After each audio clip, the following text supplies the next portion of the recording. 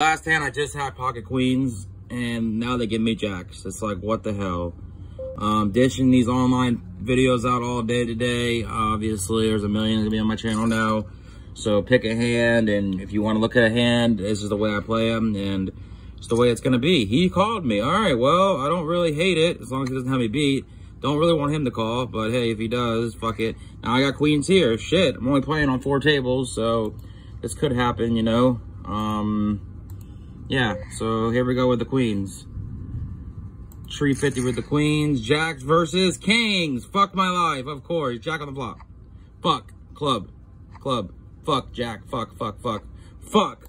Trip queens, though. Okay, fuck that tournament. Fuck that fucking 30 cent tournament. I got fucking trip queens here at 500.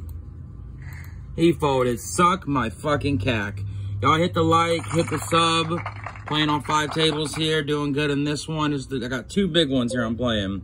These are just like fucking worthless. Like there's not, I mean, they're okay if you win, nothing much, but these are the two ones that I'm worried about. So these are, I'm not really, at Jack's hand, it's like, it really gives a fuck. Okay, cool.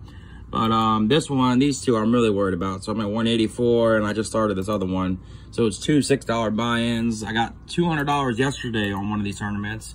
So we're trying to do the same thing today, y'all. Um, positive vibes. Ace 10 of hearts in the tournament.